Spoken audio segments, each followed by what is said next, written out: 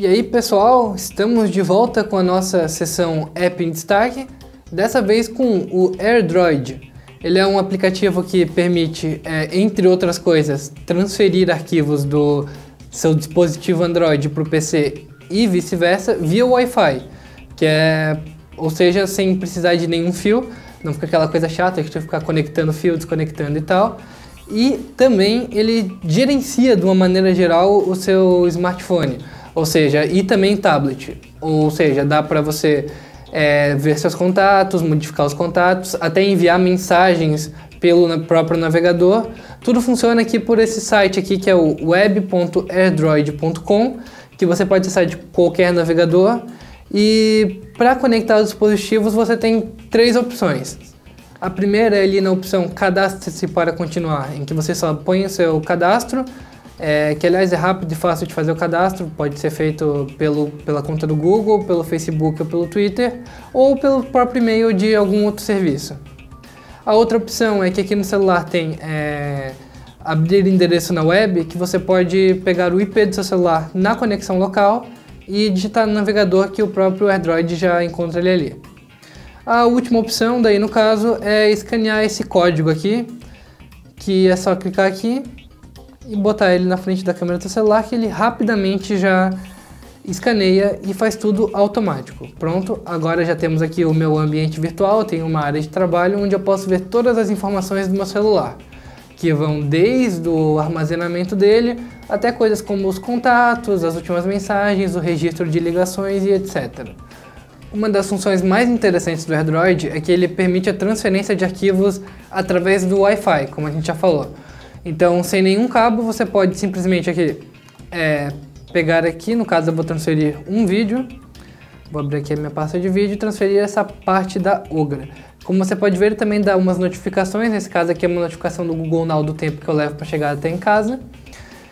E aqui, no caso, parece que já foi feito o upload, não? Vamos refazê-lo então. Aqui ele está fazendo upload do, de um trechinho da Ogra. Fiz duas vezes, na verdade. Parabéns para mim. Aí outra coisa interessante é que ele também permite que você reproduza os vídeos que você tem no celular. Então aqui nós temos no final a grande vitória do João no episódio da semana passada do, da Olimpíada, da nossa Olimpíada de Games daqui. Esse foi só um trechinho para provar que você realmente pode ver vídeos, pode ouvir músicas, então tudo que está no seu celular você pode explorar e dar uma conferida no seu computador. Bom, uma coisa que é interessante lembrar também é que aqui nós temos a versão é, Lite do aplicativo. Para quem quiser ter a versão Premium vai ter que ter uma assinatura que custa R$ 1,99 o mês e R$19,99 tem alguns planos com um certo desconto. Se você assinar um ano, você ganha 16% de desconto. Isso em dólares. O que, o que ele permite? Ele permite que você transfira até 1 GB de dados por mês. É, no caso aqui, nesse que a gente está agora, a gente pode transferir 100 MB no máximo. E ele também dá alguma coisa... Ele dá alguns outros extras, como é, ver a câmera do dispositivo remotamente, é, ligar para um número remotamente, você pode ter múltiplos dispositivos conectados à sua própria à mesma conta. Tem algumas vantagenzinhas que, dependendo das suas necessidades, podem valer a pena a assinatura premium. Continuando, coisas que dão para fazer no Lite ainda, a, acesso a mensagens de texto. Você pode acessar absolutamente todas as suas mensagens de texto, ele vai trazer notificações das suas mensagens de texto, tais quais ele trouxe aquela notificação do Google Now agora há pouco. Você pode inclusive digitar mensagens de texto, aqui você tem as, minhas, as mensagens que eu recebo da operadora. Eu só vou mandar um beleza para a operadora, porque eu sou gentil e eu gosto dos avisos deles. Ok. No caso, enviei uma mensagem para a minha operadora. Eles disseram comando inválido porque de fato é um comando inválido. Outra opção também é ver os seus registros de chamada. Com isso você sabe todo mundo que te ligou recentemente, todas as chamadas que você fez, todas as chamadas que você perdeu. Com sorte tudo isso aqui vai estar borrado, é... porque motivos de privacidade, é claro. Mas enfim, dá para ter um registro total das suas é, últimas ligações e ele inclusive também te notifica quem está ligando no momento.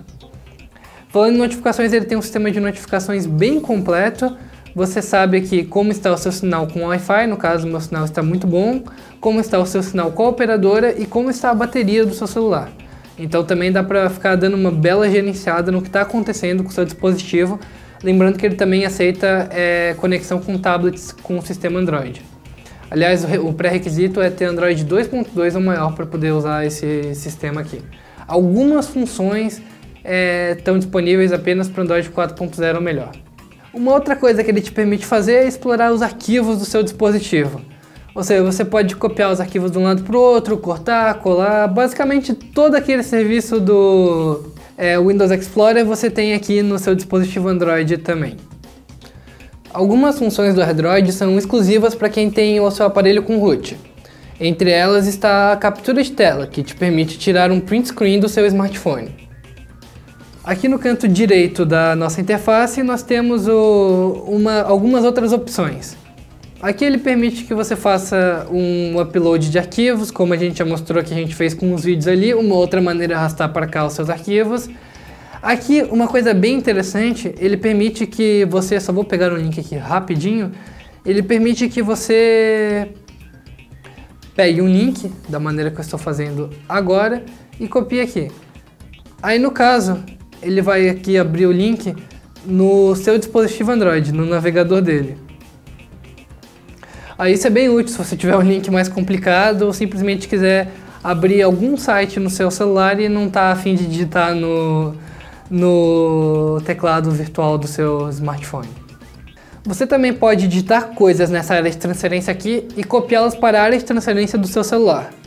Ou seja, quando você faz isso aqui, ali diz esse salvo para a transferência do seu dispositivo, basta eu colar aqui no meu celular, que vai estar na área de, na área de transferência dele. E a mesma coisa funciona para coisas que tiverem na área de transferência do celular aqui. Basta eu digitar, olha que coisa, clicar em copiar e atualizar aqui que ele vai ter o que está na minha área de transferência do celular. Por último, ele te permite gerenciar os seus aplicativos. Aqui nós temos todos os meus aplicativos, e se eu quiser eu posso clicar em desinstalar um dos aplicativos que eu tenho, ou eu também posso transferir o APK, que é o arquivo de instalação do aplicativo, para o meu computador. E para finalizar aqui, nós temos a opção de localizar o telefone.